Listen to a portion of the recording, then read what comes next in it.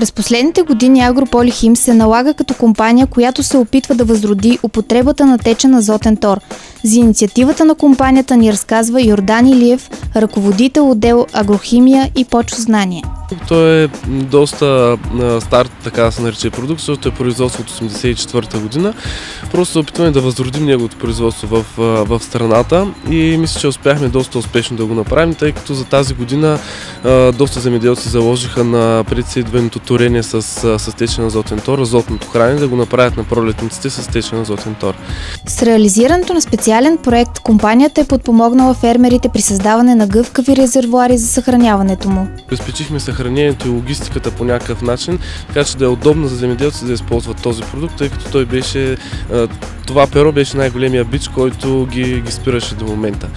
Продукт, който е с изключително големи тънкости по отношение на приложението, но общо взето ние извеждаме практически опити всяка година с различни земеделци в стопанството, което и Агрополихим а, има. От Агрополихим са успели да намерят и приложат технологиите, подходящи за масовите полски култури и информират фермерите за това. Като допълнение са създадени две нови серии течен продукт FAST и FAST Plus. Серията FAST включва 4 формули, които са, три от тях са МПК-та, плюс комплекс от микроелементи и един наистина иновативен продукт, който спечелихме наградата на тази годишната агра, който е течен фосфор и калий.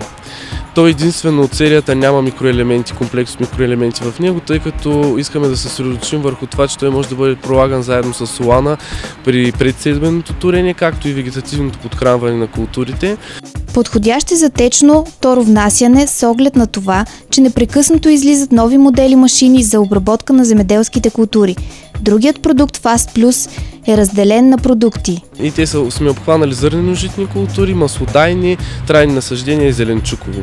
Те също се изпитваме, изпитваме ги в институтите в България, отново на опитни колета и вече втора година се предлагат на пазара, като също доста започва да се проявява голям интерес към тях и предполагам също ще оправдаят очакванията на земеделците. Те са а, с химически получени минерални торове, което наистина е стандарт за качество, защото те се правят в реактори чисти продукти с а, общо взето микроелементи хелатизирана форма, всичките изисквания, които трябва да има един течен продукт, за да е качествен той и съответно да, да даде добри резултати при, при земеделците. Земеделците ще могат а, да имат свои, свои собствени консултанти по региони съвсем скоро, което първо ще облегчи и нашата работа и ще можем съответно и всеки един земеделец да получи колкото повече информация съответно иска за конкретния продукт, било то течен или, или гранулиран. За в бъдеще при всички положения ще излезем с, с нови продукти. Искаме да обогатим Олана с, с сяра и да представим един готов продукт, т.е. Олан с сяра, какъвто имат в Русия се използва доста често.